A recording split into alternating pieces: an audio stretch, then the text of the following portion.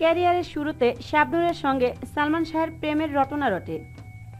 সে চর্চা এখনও থামেনি। তবে শাবনুর অনেকবার বলেছে, সালমান শাহের সঙ্গে তার সম্পর্কটা ঠিক ভাই বোনের ছিল। আবার সে সময়কার ম্যাগাজিনগুলোতে নানা মুখরোচর খবর এসেছে তাদের প্রেমের গুঞ্জন নিয়ে। সত্য বা মিথ্যে প্রমাণের আগেই সালমান চলে গেলেন পরপারে। সে সময় নায়ক সাব্বিরের সঙ্গেও প্রেমের গুঞ্জন ওঠে শাবনুরের। সে আগুন খুব বেশি দিন জ্বলেনি। তবে তার প্রেমের গুঞ্জন বেশি মাত্রা পায় রিয়াজকে ঘিরে। শাবনুর ও রিয়াজ জুটি হয়ে রূপালী পর্দা শাসন করেছেন লম্বা সময়।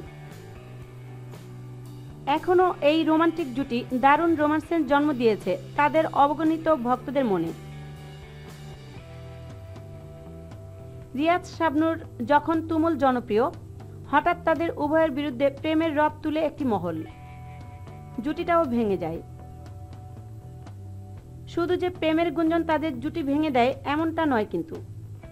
ফলাফল তারাও ধীরে ধীরে হারিয়ে যান শীর্ষস্থান থেকে। রিয়াজ বিনোদন জগৎ থেকে বাইরের একজনকে বিয়ে করে ফেলেন। এ গুঞ্জনে মাটি চাপা পড়ে। এরপর দুই হাজার দশ সালে বদলুর রশিদ চৌধুরীর বধূ তুমি কার ছবিতে শাবনুরের বিপরীতে অভিনয় করছিলেন অনিক। সেই সূত্রে তাদের পরিচয় ও বিয়ে। তবে জনপ্রিয়তা হারানোর ভয়ে শাবনুর বিয়ের বিষয়টি চেপে রাখেন। অনেক বর্তমানে ব্যবসায় নিয়ে আছেন। ভালোই চলছে তাদের সংসার।